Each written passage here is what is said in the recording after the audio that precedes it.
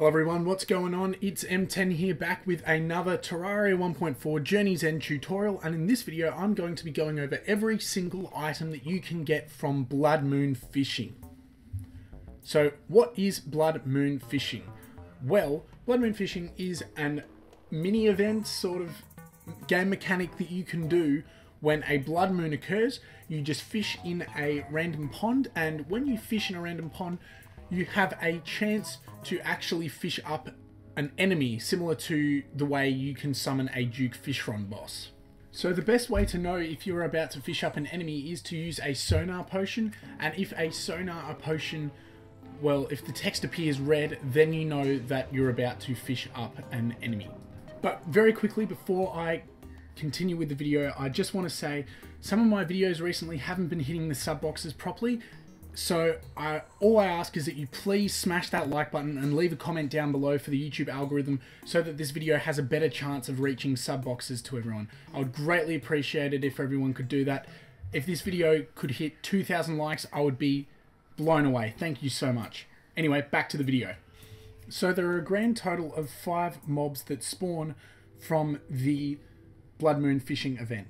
Two of them are available to spawn pre-hard mode. They are the Zombie Merman and the Wandering Eyefish. Meanwhile, in hard mode, on top of the Zombie Merman and Wandering Eyefish, book, which will spawn as well, you have the Hemogoblin Shark, the Blood Eel, and the Dreadnautilus. So let's go over all of these mobs in a little bit more detail. The Wandering Eyefish does 35 damage. It has 300 hit points and a defense of 18 and this is on classic Terraria mode so the stats will be scaled equivalently based on what mode you're playing in. The Zombie Merman does 40 damage, it has a max life of 400 and a defense of 20 so a little bit stronger but also it can't fly around like the Wandering Eye Fish. Moving on to the hard mode enemies we have the Blood Eel and this is a massive step up from the pre-hard mode enemies. It has a similar amount of health to like a, a little mini boss with 6000 HP. And think of this enemy as an equivalent to like the Wyvern or something like that. The damage it does, well, the Blood Eel head will deal 90 damage, the body will deal 60 damage, and the tail will deal 50 damage. Try and aim for the Blood Eel's head because the head has 0 defense in comparison to the body's 30 defense and the tail's 40 defense. Moving on to the Hemogoblin Shark, and well, this is a very fast creature. It's super fast on the water, super fast on land, it spits projectiles and stuff. It's quite a crazy, crazy thing. So the Hemogoblin Shark deals 70 damage, it has a max life of 5,000 hit points and a defense of 30. Once again, classic mode stats, so these get scaled accordingly depending on what mode you're in. And finally, the Dreadnautilus. Now, this is the most powerful of all of the Blood Moon fishing enemies, and originally it was expected that this would actually be a boss, but like the Ice Golem, for example, this thing actually isn't classified as a boss, it doesn't have a boss health bar, and it doesn't drop a trophy or a relic in Master Mode. So, correction to all of the times I have called this a boss or a mini-boss. So, the Dreadnautilus deals 55 damage, it has a maximum life of 7000 and a defense of 24, as one of the attacks, it spawns a blood squid, which you can see on screen now, and these have a max life of 1000 and deal 60 damage. So kill the Dreadnautilus quickly before he spawns these things. Okay, so those are all of the Blood Moon enemies. Now I'm going to go over all of the unique items which each of these creatures drops. Okay, so the first item I will be discussing is the Bloody Tear. Now this is an item that drops from any mob in the Blood Moon, not just fishing ones, and you use it to summon a Blood Moon on a regular night. Okay, so moving on, we have the advanced combat techniques, and this is actually the only item that you can just fish up without killing an enemy on a Blood Moon. And it's a consumable item that buffs your NPCs. So even if you have multiple of this item, you can only use it once. However, when you use it, it increases the defense of town NPCs by 6 and attack damage by 20%. So it's a nice little bonus that you can give, especially if there is a blood moon and your NPCs need to defend your town. Okay, so when you are blood moon fishing, what you want to use is the Chumcaster fishing rod. Now this item is dropped by either one of the pre-hard mode blood moon fishing enemies and it has 25% fishing power. However, the Chumcaster, as the tooltip suggests, has an increased chance to fish up enemies during a blood moon. So, despite being an okay fishing rod, uh, when you're outside of a blood moon, this is the 100% the best one to use to get the most enemies fished up during a blood moon. From here, I have to discuss chum buckets, which are a consumable item that gets tossed in the water and it drops from any enemy fished up during a blood moon. So a chum bucket will last for 10 reels of the line. So after you've fished up 10 different items, even if the line breaks, it will disappear in the water. And the effect of the chum bucket is that it will increase fishing power depending on the amount that's in the water. Now this won't appear on the fishing power stat on your cell phone, but a single bucket will increase fishing power by 2%. Tossing in another bucket will increase the fishing power by 4%, and tossing in a third bucket will increase fishing power by 7%. Any more buckets thrown in after that will not increase your fishing power. Up next, we have the Blood Moon Monolith, which is a visual item that drops from the Dreadnautilus. As you can see here, it toggles on the visual appearance of the blood moon, changing the water, changing the grass color, and changing the general color of the scenery to that that matches a blood moon.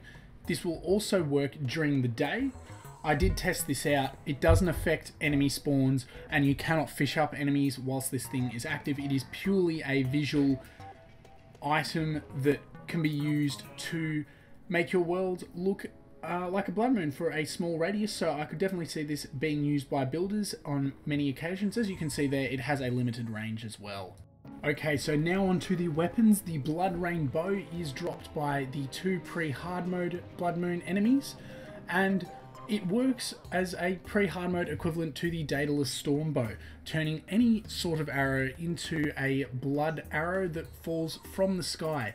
However, this is far less accurate than the Daedalus Stormbow. As you can see here, there are many shots missing a single target, so this is much better on large enemies and potentially bosses such as like the Eye of Cthulhu and the Eater of Worlds. So, realistically, against single targets, this doesn't deal that much DPS because it, you know, misses the target a lot, but however, it is comfortable in its DPS against multiple targets. Moving on to the other pre-hard mode weapon, we have the Vampire Frog Staff, which as you can see, summons a little vampire frog to fight for you. Now, this is one of the earliest summoner weapons you can get in-game, getting it before any boss. I would say it's probably a similar tier to the Slime Staff, and it drops from either of the two pre-hard mode Blood Moon fishing enemies.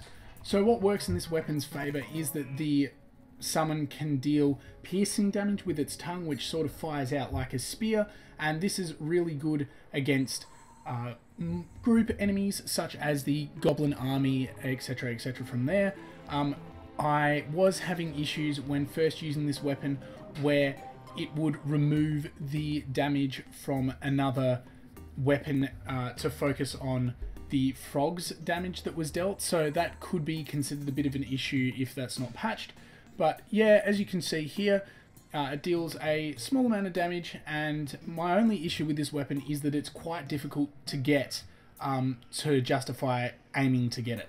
Because it has quite a low drop rate, and by that point, you know, after two or three blood moons, uh, trying to farm this thing, you may have gone well past the stage where it's actually viable. Moving on, we have the Haemorrhaxe, which is a drop from Hemogoblin Sharks and Blood Eels. This is a hard mode Hamax, and basically it's it's alright. It, it's not functional very well as a weapon, but it's a pretty good hammer and axe. It'll chop down stuff and hammer back walls very fast. Also, if you are in hard mode, it will smash demon altars if you want something that does that. So you can see it take out a demon altar here. Um, other than that, nothing super special about this item. Each of the three hard mode fishing enemies have their own unique weapon that they drop, and I will begin with the Bloodthorn. Now, the Bloodthorn is a magic weapon that drops from the Hemogoblin Shark, and I would consider this to be probably the weakest of the bunch, unfortunately. It has a very cool attack pattern. Basically, it will aim from where your mouse is uh, uh, if there is ground nearby. So it will aim off the ground or any block. Uh, if there is no block or ground nearby to your mouse, it will aim from where the character is positioned, facing where your mouse is. And so this means it can be quite good underground because it travels through walls, but it doesn't really deal that much damage um, on a single target, especially. I would argue that this weapon is very niche in its usability, and I would say it's definitely just for mining and when you're underground for the most part. Uh, with that being said, it has extremely weak knockback of 1, a use of 20 mana per attack, and a use time of 21, so it is quite fast.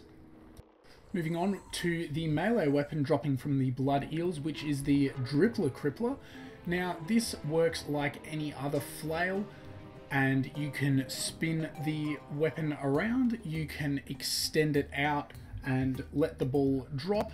But something unique about this flail in particular is as you can see, it spawns Drippler Crippler projectiles that will, uh, I don't know, it's sometimes they pierce through enemies and sometimes you can only hit an enemy once with them. But either way, when you let go of the flail, it will summon a rolling projectile ball. So I personally think this is a very strong weapon. It is fantastic against early hard mode enemies and of course bosses such as the Destroyer. This weapon's strength is definitely against crowds of enemies or in short range where you can swing around a whole bunch, but it falls short at really long distance enemies because the projectiles don't travel that far and of course aren't that powerful in comparison to the rest of the weapon. Finally, we have the Sanguine Staff, which is a summon staff dropped by the Dreadnautilus.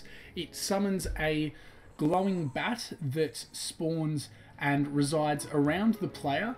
The more bats you have, the more they will appear around the player. And interestingly enough, with this attack, it's quite unique when the bats attack an enemy, they will form an ellipse that travels from beside the player out towards the enemy and then back towards the player before attacking again. So a bat has to do a full rotation before it is able to complete another attack.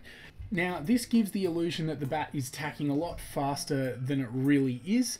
Um, unless you're very close to the enemy. So this this staff benefits from the player being positioned closer to the enemy for it to attack more frequently.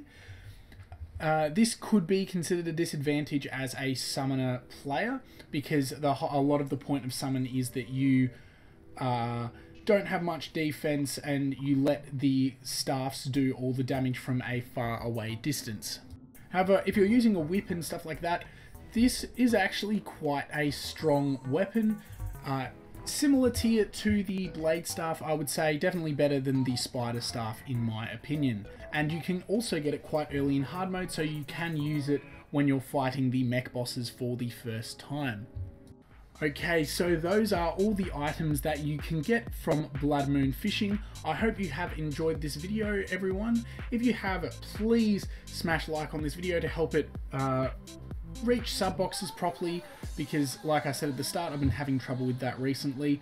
Let me know what videos you would like to see next. I will probably post a poll within the next couple days with some suggestions and also keep an eye out for my top 5 weapons video for Terraria 1.4 which I am working on at the moment and hopefully will be dropping sooner rather than later. Anyway, like I said, leave a like, comment, subscribe, turn on that notification button. Thank you so much for watching everyone and I will see you all next time. See ya.